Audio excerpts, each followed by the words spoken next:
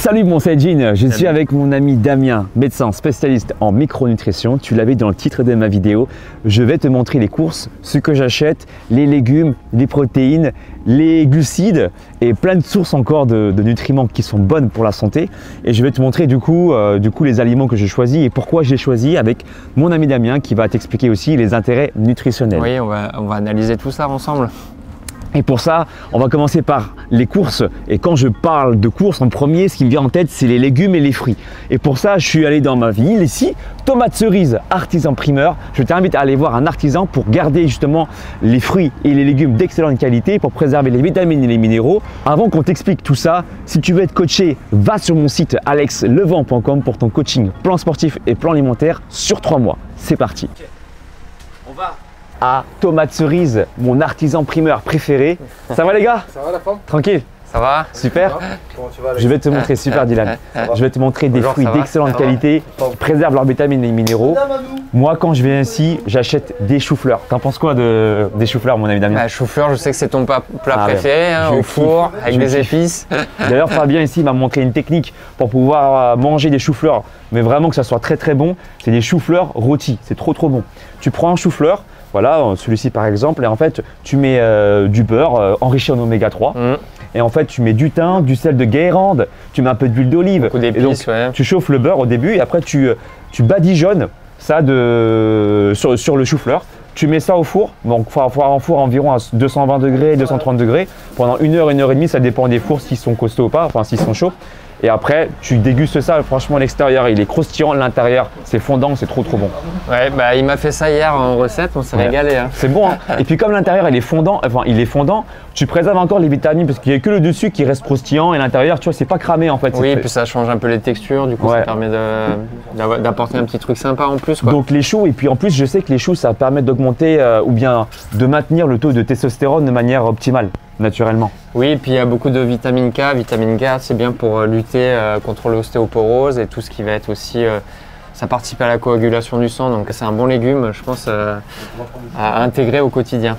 Après, moi, ce que j'aime prendre aussi, c'est que j'aime bien prendre des, courgettes, des tomates en fait pour faire une courgette bien sûr.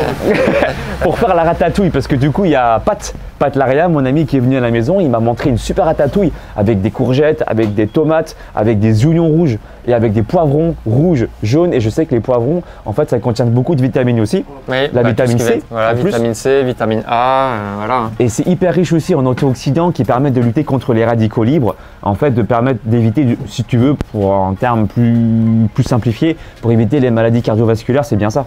Oui, en fait, ça va préserver euh, du vieillissement de manière générale. Et en fait, dans les vitamines, bah, les principales, c'est A, C, E. Ce sont les principales vitamines antioxydantes. Et euh, tout ce qui va de couleur rouge, orange, verte, c'est vrai que bah, c'est riche en vitamine C et A, en fait. Et aussi, je kiffe acheter des aubergines pour faire la ratatouille. Aubergines, courgettes. Et je me fais également des œufs, donc des œufs riches en oméga 3. On en parlera tout à l'heure hein, dans les courses aujourd'hui. Là, c'est la partie pour l'instant fruits et légumes. Après, on passera du coup dans un autre supermarché pour te montrer aussi euh, les protéines, les lipides que j'achète. Et j'aime bien aussi acheter des champignons. Celui-là, il est trop trop bon. C'est une variété de champignons. Donc, quand je me fais des œufs, par exemple, j'aime bien rajouter des champignons. Je trouve que ça cale beaucoup. tu vois, ça apporte beaucoup de satiété. C'est via les fibres, en fait, tout simplement. On en a parlé plusieurs fois dans les vidéos tout ce qui va être fibre, ça va occuper de l'espace au niveau de l'estomac. Et donc ça permet au niveau des capteurs, du coup, de satiété, voilà, d'envoyer le message au niveau du cerveau en fait. Et aussi, moi, tu sais que je suis un grand gourmand et que je commence toujours mes repas avec des fruits. Mm. Et moi, je me dirige ici grâce à, bah, du coup, à Dylan et à toute son équipe ici à Tomate Cerise.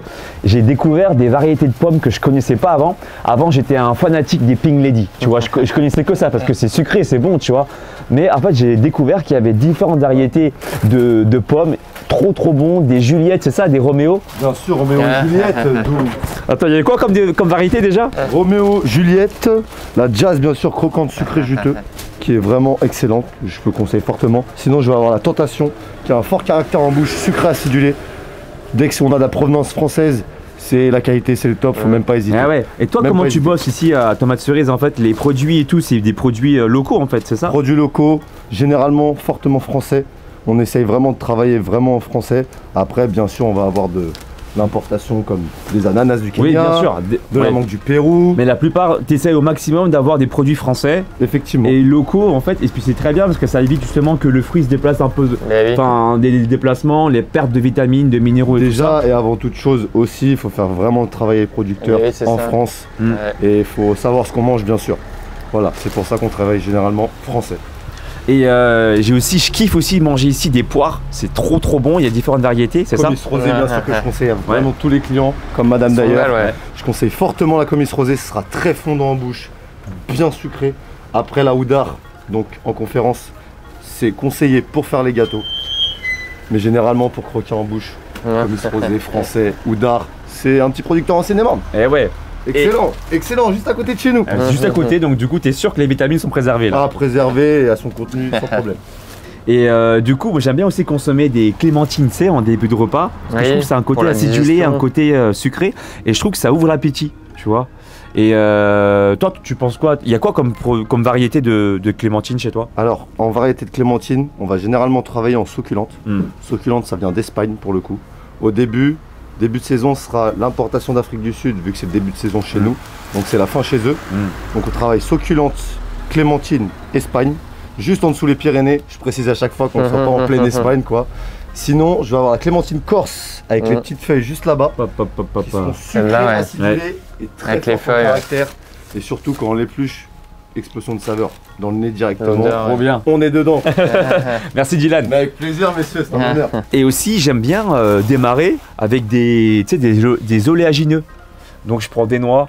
Et puis, euh, t'en penses quoi, toi, de, de cette technique De commencer par aussi des, sources de Bah, graisse en fait, c'est vrai qu'il y a l'avantage de commencer par tout ce qui va être euh, un oléagineux, donc euh, riche en graisse. Ces graisses qui sont contenues vont nous permettre de bien absorber la vitamine A, par exemple, parce que c'est une euh, Mmh. vitamine liposoluble, donc elle s'absorbe qu'avec du gras en fait. Ok. Donc c'est pour ça que c'est bien de rajouter euh, de l'huile d'olive, de l'huile de colza, surtout ce qui va être euh, légumes pour l'assimilation en fait. Ok.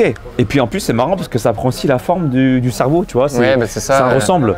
Et donc, comme on dit, le cerveau, il est aussi constitué principalement de de, graisse. graisse, ouais. Et donc, te nourrir de bonnes graisses comme, euh, comme ça, par exemple, oméga 3 ça ne fera pas grossir. Par contre, tu vas nourrir ton cerveau. Oui, après c'est comme tout, tu vois, c'est délicieux et du coup, bah, faut pas en abuser quoi. Voilà, C'est tout. euh, C'est toujours, l'équilibre, ouais. Et aussi, je kiffe, je kiffe manger des bananes. Des bananes, euh, bah, tu sais, pour les recettes de pancakes, Oui, je prends un, un bon euh, complément alimentaire riche en protéines avec euh, un bon complément alimentaire bas en glucides. mhm. Et en fait, je me fais des pancakes et dans mon pancake, je mets des bananes. C'est riche en potassium, je le sais. Ouais, et puis c'est facile à digérer. Voilà, les sportifs, les tennisman, ils adorent. hein. C'est une euh, bonne source de glucides, ça Mm. contient des fibres. C'est ça, hein, si je me trompe, dis-moi. Non, non, c'est exactement ça. Ouais. Et aussi, je sais que les bananes contiennent beaucoup de potassium. Mm. Et moi, quand je, quand je mange la banane, je fais en sorte qu'elle soit pas trop chauffée, tu vois, même pas du Oui, tout. et puis euh, idéalement, il faut les prendre un peu mûres parce que là, par exemple, elles sont un peu trop vertes. Faut, euh, pour la digestion et tout, et l'assimilation des Ok. nutriments, bah, c'est toujours mieux de choisir quelque chose d'un peu plus mûr. Ouais. Ok. Et je sais que le potassium, ça aide aussi à tout ce qui est contre la rétention d'eau. Donc euh, le potassium, ça permet en fait euh, d'avoir en fait un physique qui va être du coup euh, plus plus sec, plus dessiné. Moi qui suis dans cette approche-là d'avoir Mm. un corps athlétique, bah, du coup manger des, des bananes, contrairement à ce qu'on pourrait dire, eh ben, c'est bon pour vous. Mais par contre, c'est toujours une question de quantité derrière. toujours, voilà. Si je mange 6 bananes par jour, c'est clair Oui, qu'au bout d'un moment, voilà, le s'élève. En fait, la charge glycémique, c'est-à-dire la quantité de sucre qu'il y a dans une banane, elle est quand même un tout petit peu plus haute. On est à une charge autour de 11 et on aime bien être dans des charges en dessous de 10 si on peut. Mais Moi, bon, je mange après, une voilà. banane par jour. Oui, voilà, ça reste euh, très très bien. Une banane par jour, il il y a zéro risque. hein. D'ailleurs, il y a des recettes de médecins euh, qui avaient inventé, euh, c'était la, la recette Budwig, et en fait, la médecin avait intégré la banane comme fruit principal euh, dans toutes les recettes de petit déjeuner, par exemple. D'accord. Qu'est-ce que je pourrais intégrer encore euh, pour ceux qui désirent prendre un bon petit déjeuner? Toi, tu conseillerais quoi? Bah, petit déj, on en a parlé aussi souvent. Bah, c'est vrai que c'est bien de manger le fruit, mais en, en premier en fait. Avant de manger des protéines ou, Mm. ou du pain, enfin des glucides, des choses comme ça. C'est vrai que le fruit, bah, on va mieux le digérer, mieux l'assimiler. C'est toujours cette histoire-là en fait.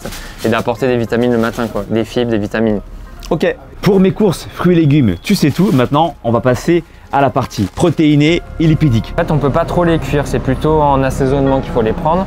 Testostérone, vitamine D, les hormones stéroïdiennes. Ça permet de lutter contre les radicaux libres. Ça permet également de booster notre système immunitaire, mais pas n'importe quels œufs. Donc avant de te connaître, moi je m'orientais vers que des œufs en plein air. Quand Ah mais je kiffe, bah, c'est Voilà. trop bon et puis euh, je sais que c'est bon pour la santé.